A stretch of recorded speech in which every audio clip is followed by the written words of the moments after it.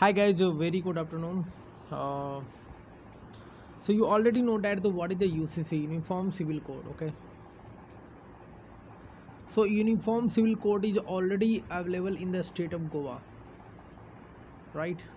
And this is already coming in the news from the uttarakhand uh, cm that he is going to adopt a draft draft of ucc but the thing is already written in the uh, article 44 okay that the state must have to make a uniform civil code right?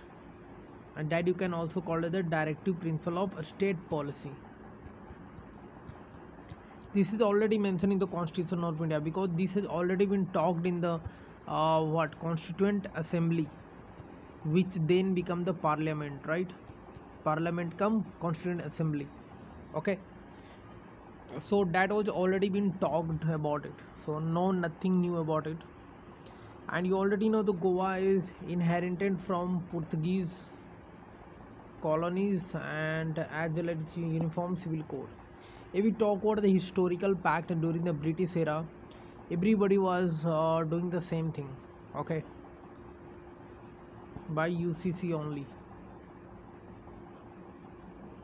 not completely it was partially okay.